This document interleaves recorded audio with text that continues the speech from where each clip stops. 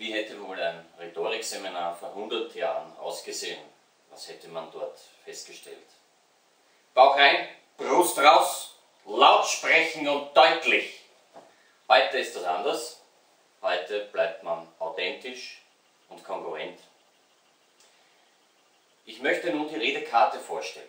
Wozu braucht man eine Redekarte? Eine Redekarte ist dazu da, dass Sie den roten Faden nicht verlieren. Und wenn Sie diese strukturiert aufbauen, dann ist es auch möglich, Regieanweisungen unterzubringen. Eine Redekarte sollte im A5-Format, A5 oder A6-Format sein.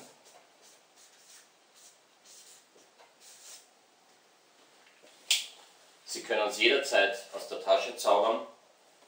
Sie haben eine Struktur, eine Einteilung und auf der anderen Seite können Sie auch Werbung unterbringen.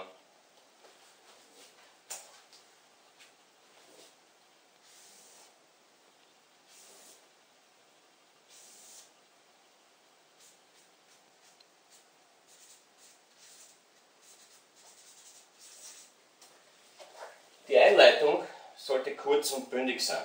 Wenn Sie ein wenig unsicher sind, Lampenfieber verspüren, Nervosität von der Körperwahrnehmung merken, dann dürfen Sie in das Einleitungskästchen auch maximal drei ganze Sätze schreiben. Auch wenn Sie diese drei Sätze zu Beginn ablesen, stehen später nur mehr Stichwörter oben und Sie müssen dann den Blickkontakt mit Ihrem Publikum halten.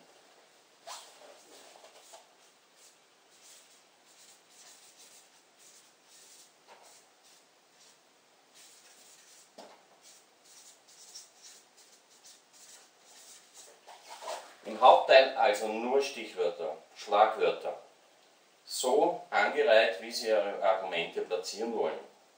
Und es kann eben nicht passieren, dass der rote Faden nicht mehr da ist, Sie nicht mehr weiter wissen, ein Blick alleine reicht. Denken Sie aber daran, groß genug zu schreiben, dass Sie Ihre eigene Redekarte auch lesen können.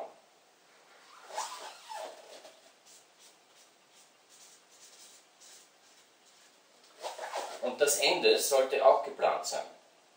Ein Schlusssatz muss her, beziehungsweise ein Dankeschön, ein Danke.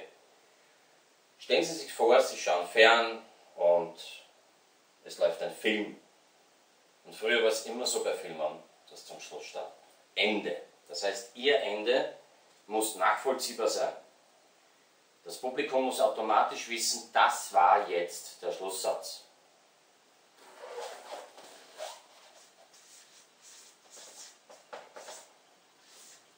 Das Wichtigste auf Ihrer Redekarte ist aber unter Umständen die Regieanweisung, wo Sie sich selbst Regieanweisungen geben, möglichst in bildhafter Form.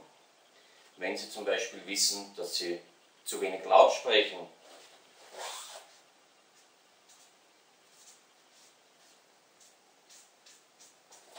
dann malen Sie sich einfach ein Megafon her, einen Lautsprecher oder ähnliches. Wenn Sie wissen, dass Sie sehr wackelig vorne stehen.